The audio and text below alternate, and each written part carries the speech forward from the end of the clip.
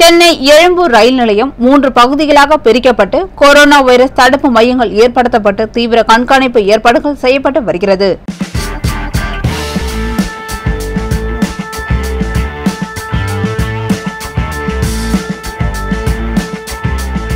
மேலும் பயணிகள் வருகையும் குறைவாகவே காணப்படுகிறது. பொதுமக்களை நன்கு பரிசோதனை செய்த பின்னரே அனுப்பி வைக்கின்றனர் ரயில் நிலையத்தில் பல பகுதிகள் முன்பு இருந்ததை விடவும் மிகவும் தூய்மையாக காணப்படுகிறது. பக்காவாக செக் பண்ணுறாங்க யாருக்கும் நோய் தடுப்பு கண்டிப்பாக இருக்கணும். ஏன்னா கொரோனானால யாரும் அட்டாக் ஆகிடக்கூடாது மற்ற இதோட இங்கே நல்லா நம்ம பார்க்கல நமக்கு நோய் வந்துடாது அப்படின்னு எல்லாம் கொஞ்சம் திருப்தியாக இருக்காங்க. மொத்த ஸ்டேஷன் ஃபுல்லாக பார்த்தீங்கன்னா எல்லாமே பயம் இல்லாமல் இருக்கிறாங்க.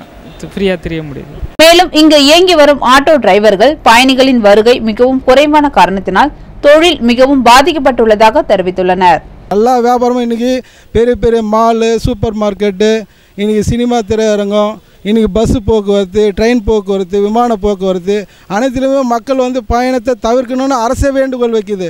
அப்போ பயணத்தை தவிர்த்துட்ட பிறகு ஆட்டோ தொழில் அன்றாடம் காசு அவனுடைய வாழ்வாதாரம் ரொம்ப பாதிச்சிருக்கு.